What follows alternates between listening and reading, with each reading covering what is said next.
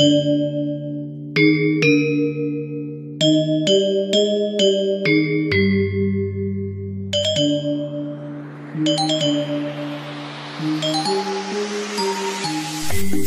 kerukunan antar umat beragama di Malang tidak hanya ditunjukkan dengan hubungan tetangga Masjid Jami dengan Gereja Protestan Immanuel Malang.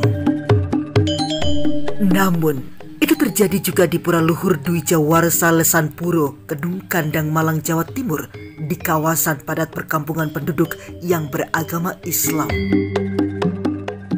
Ada sebuah tempat peribadatan untuk umat Hindu yang bernama Pura Luhur Dwi Jawarsa, sebuah tempat ibadah yang dikatakan tertua di kota Malang dan terbesar di Malang Raya. Berikut ini adalah Pura Luhur Dwi Jawarsa, megahnya simbol kerukunan umat beragama di Malang, Jawa Timur, yang ada di bumi Nusantara tercinta.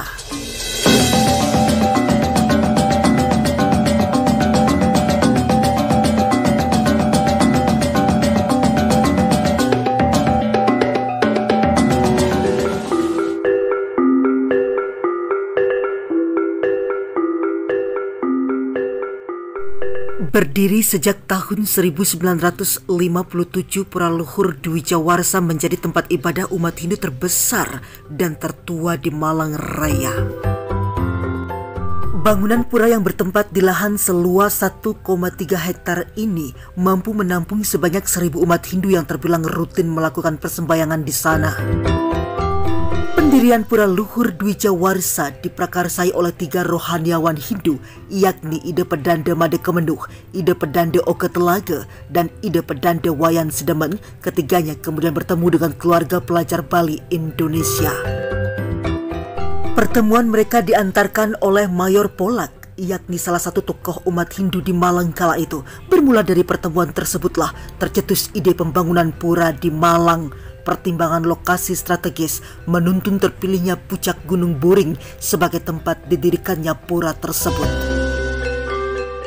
Pada akhirnya pembangunan pura itu sendiri baru selesai tahun 1968 dan di bulan Mei dilakukan upacara pemelaspasan serta karya Agung Ngeteglinggi yang pertama dipimpin langsung oleh Ide Pedanda Madi Kemeduk. Setelah lebih dari 40 tahun berlalu, sejak tahun 1968 sampai dengan tahun 2008, keberadaan Pura Luhur Dwi Jawarsa terasa semakin sempit seiring bertambahnya jumlah umat Hindu di Malang Raya yang hadir melakukan persembayangan pada hari-hari suci keagamaan di pura itu. Dengan dukungan para pini sepuh umat Hindu di Malang dan Gubernur Bali Bapak Dewa Made Berata, maka generasi muda Hindu Malang bersemangat lagi untuk melakukan renovasi serta membangun sarana dan prasarana pendukungnya di tempat suci tersebut. Pura Luhur Dwi Jawarsa akhirnya menjadi pura terbesar umat Hindu di Malang. Pura itu kemudian mengalami renovasi pada tahun 2008 dan terbentuk semakin besar seperti saat sekarang ini menjadi pura terbesar di Malang. Berbagai kegiatan agama Hindu pun dipusatkan di pura itu.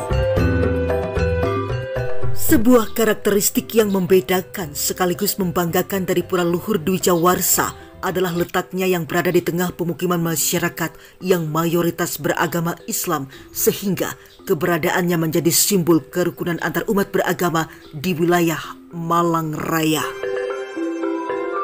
Semakin lama, semakin banyak kegiatan dan perayaan hari suci yang dilakukan di pura tersebut. Setiap bulan Mei, di pura ini selalu ramai dikunjungi oleh umat Hindu dari berbagai daerah di sekitar Malang. Ketenangan dan sejuknya pura ini membuat umat Hindu betah. Uniknya, pura besar tersebut berdiri di tengah perkampungan yang didominasi oleh Muslim. Meski begitu, toleransi antar umat beragama tergambar jelas dari interaksi dua agama itu.